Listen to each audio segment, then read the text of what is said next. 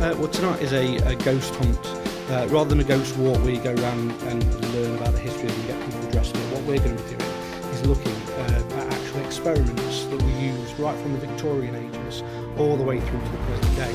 Uh, we've got around 45 people turning up tonight, paying guests, and, and what we'll do is we'll split up into smaller groups, turn all the lights off, and uh, they'll go off in their smaller groups and do experiments to see if we can make contact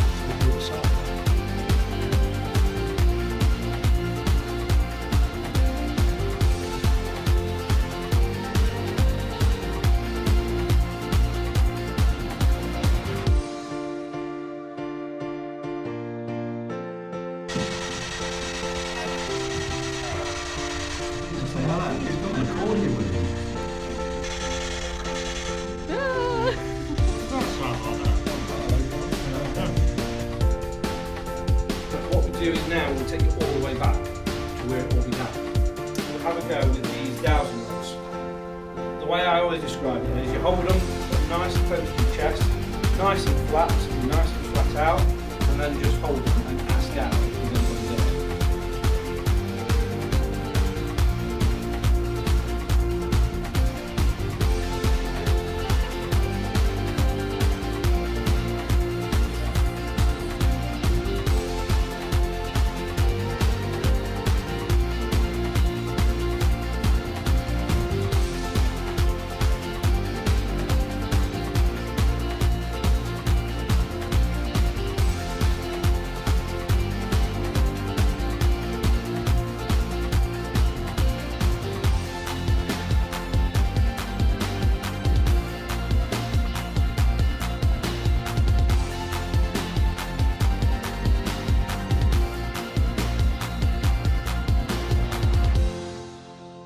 Okay, we're here tonight uh, to do a paranormal investigation.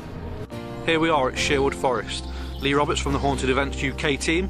Here is the home to many guests, locals, sporting events, darts, karaoke, but more importantly, it's going to be the home on the 28th of June 2013 to a very special live ghost hunt. The Haunted Events UK team will be here to conduct the first ever outdoor ghost hunt here at Sherwood Forest.